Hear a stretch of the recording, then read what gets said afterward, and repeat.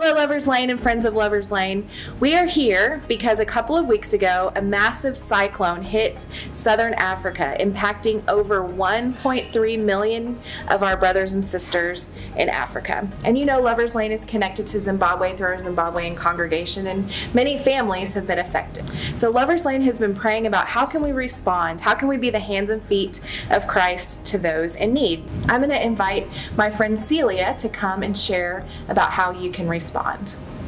Thank you, Pastor K. So, as our mission of loving all people into relationship with Jesus Christ, a container has been provided by the Lovers Lane United Methodist Church, where we are coming together as the Zimbabwean community as well and surrounding churches to donate blankets, jackets, clothes, food in the form of cooking oil, pinto beans, rice, noodles, etc.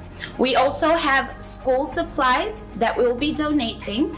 We also have uh, pads and any toiletries that anybody can donate. We would greatly appreciate it.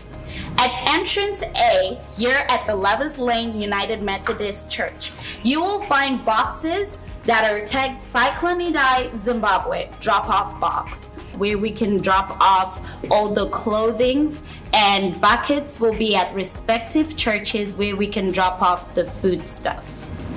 vana vezimbabwe chekutanga regai nditende nezvese zvamuri kuita kuti basa iri riri pamberi pedu rifambe zvakanaka. Ndoda kutenda zvekare mufundisi k wataura kwamuri vachikutaurai basa ratiri kuita pano selavers ndichida kutenda celia akutsanangurai zvinhu zviri kudiwa zvichazoungana pano. Ndoda kutenda zvakanyanya machechi ese ari muno mudallas uh, dfw community.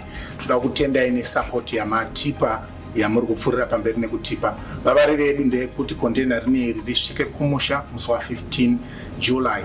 Zvichisvikobatirana nevanhu vakapinda mutsaona iyi.